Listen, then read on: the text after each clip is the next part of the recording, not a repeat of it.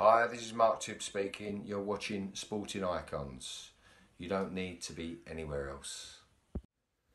Okay, so I'm sure a lot of you are aware by now, but I want to give you my two pence worth that Eddie Hearn has confirmed that the Saudis are indeed looking at the end of the year to stage Anthony Joshua versus Deontay Wilder and Alexander Usyk versus Tyson Fury. So he's confirmed that there are preliminary talks right now, and he's going to fly off to Saudi Arabia at some point next week to hold further discussions. So he's confirmed that the rumours are true. That's what they're looking to do on the same card, which really does surprise me, where he estimated around about 400 million to do that. I mean, to put them two fights on the same card, that's like, well, I mean, my first reaction is, do I need to start making plans to sell a kidney for the pay per view, right? It's going to be quite high, and rightfully so. That would be a hell of a card, wouldn't it? Now, Malik Scott, the trainer of Deontay Wilder, has also confirmed that there has been talks surrounding this particular situation. Tyson Fury, he put out on social media for the first time uh, since he ducked Alexander Usyk, he's actually taken to social media, he's, he's uh, finally remembered his login, that it's not true. He called it BS. Now, out of the three, who you most likely to not believe? Yeah, we know. And if any of you out there believe in Tyson Fury, then you're beyond help.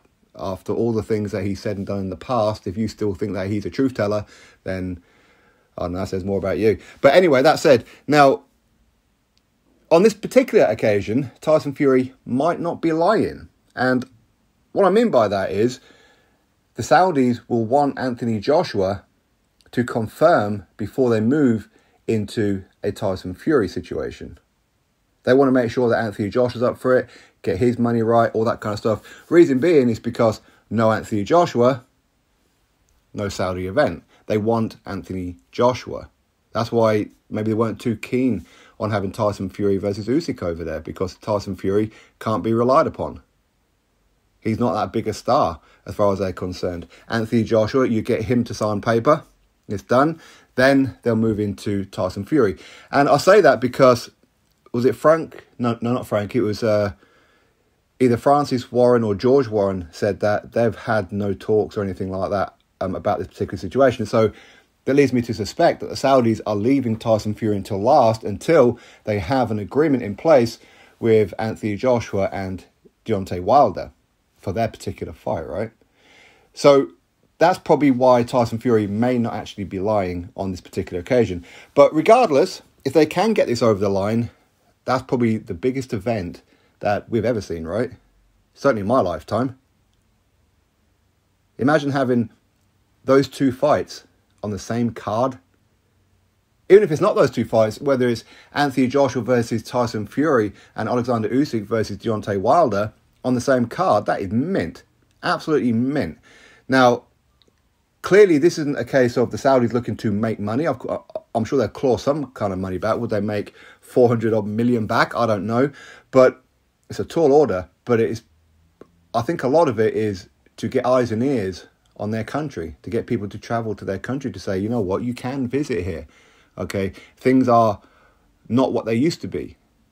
We are a country that is happy to host sporting events and things like that. So it's probably more about that than it is actually about making the money. But still, I mean, listen, I don't know what kind of divish demands that Tyson will come out with. Probably be astronomical. He'll want to try and make sure that he's the highest paid out of all four of them. You know what he's like. I don't think it's necessarily that he needs the money or necessarily wants the money. It's it's all about the A side for him. That's more than enough. Okay, but first things first, the Saudis want to make sure that Anthony Joshua is in before they move into a Tyson Fury. So, anyway, that is fantastic news. If of course they get it all over the line, um, if they do, mint, right? I think the boxing world will stand still to watch this particular event, no matter which two fights it is. Now, is it a bit of a travesty in some ways to have them on the same card where that's two fights that are headliners? I mean, arguably, but listen, if, anybody can afford to do it, it'll be the Saudis, right? And listen, I'd rather pay one pay per view than a couple. That's for sure. Anyway, we'll have to wait and see what happens. I'm sure we'll find out in the coming weeks. Drop your thoughts below. Click thumbs up, subscribe. Catch you next video.